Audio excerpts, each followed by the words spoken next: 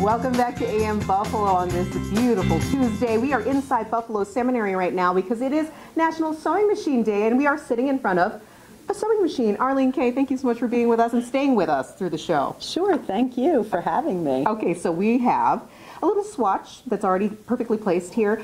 Let's start by talking about how sewing machines have evolved. This is very advanced as compared to the sewing machines you might know from years past, correct? Yes, yes and no, because it's more advanced. It's a computerized sewing machine, um, so it's more advanced than your regular mechanical, but there are sewing machines that are way more complicated than this. Complicated, yeah. This is so easy for kids to follow and us. And I love that. Show me how we how it's easier. There's a foot pedal like you normally would have, right? Right. And so you just kind of run it through the way you would normally run. Yeah, exactly.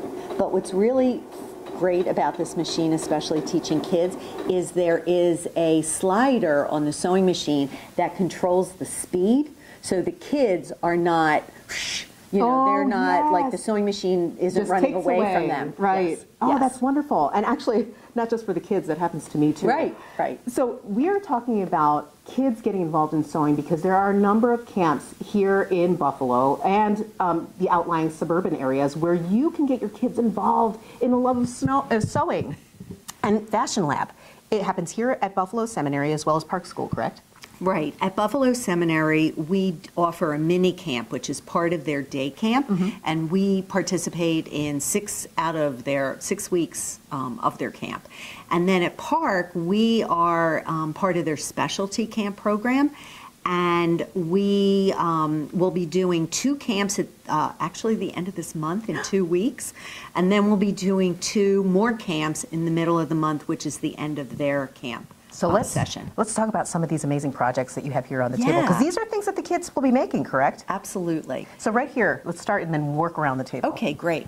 So we usually start with a more simple project of a simple pouch to teach them how to sew straight lines and pivot mm-hmm. and make a casing. That's what the golden red is. This is brand new.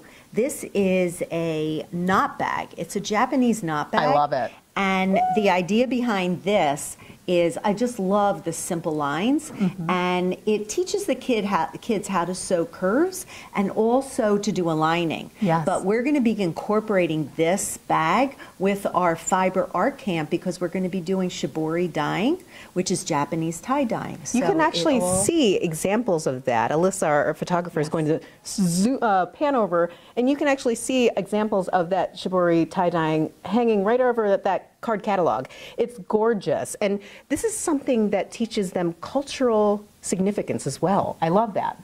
Along, absolutely. And along with, you know, fashion is not just, I mean, it is sewing, but it's not just sewing. It's also fabric, learning about fabrics, learning about dyeing, it's chemistry, it's math. I mean, there are so many skills that kids get mm-hmm. from coming to our camps. Yes, and the ownership that they get from creating something that they love with a technique that they love is a fantastic feeling. I know that I feel that way when I make stuff. I'm sure you can speak to that as well.